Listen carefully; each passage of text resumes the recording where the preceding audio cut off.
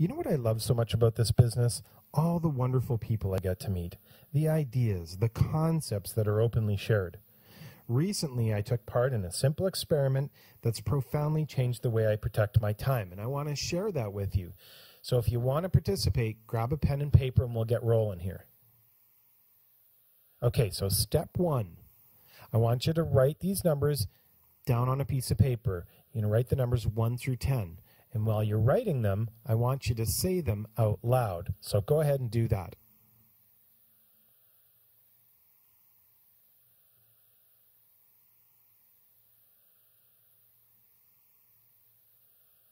Pretty simple, right? Not a whole lot to it. Okay, for step two, I want you to do the same thing, but I want you to write the numbers backwards. So 10 to 1. And I want you to say them out loud as you write them down. So go ahead and do that.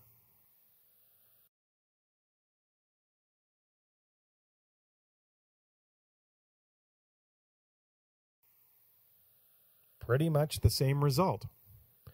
Step three, I want you to write down the numbers 1 through 10 again, in that order, ascending, but I want you to say the numbers out loud in descending order. So write the numbers in ascending order and say them out loud, descending order, at the same time. Go ahead and do that.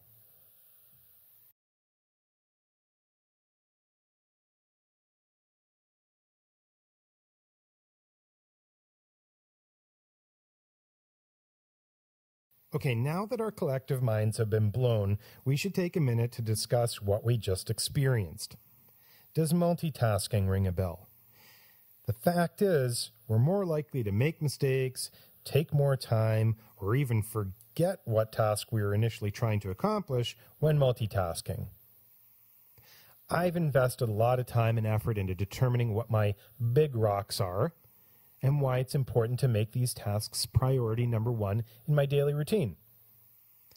Now I understand why protecting that time and focusing on those tasks is so critical.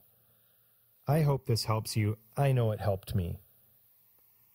If this is your first time visiting us, you should know that you can get your very own username and password for access to our Real Estate Knowledge Vault for Realtors. It's free and it's constantly updated with real estate related pearls of wisdom, kind of like the stuff we were talking about about the big rocks. You should check out our video on big rocks. It's really cool. So until next time, remember to protect your time and avoid multitasking.